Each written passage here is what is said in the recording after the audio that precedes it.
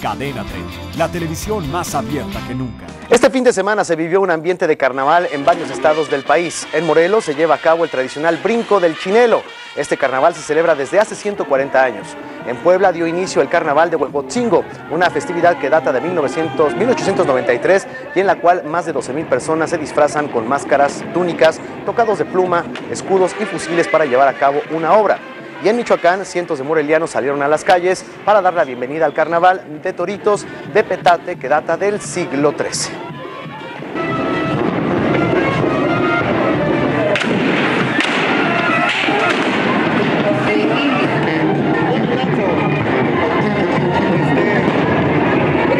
Suscríbete a nuestro canal de YouTube para que siempre estés informado de las últimas noticias de México y el mundo.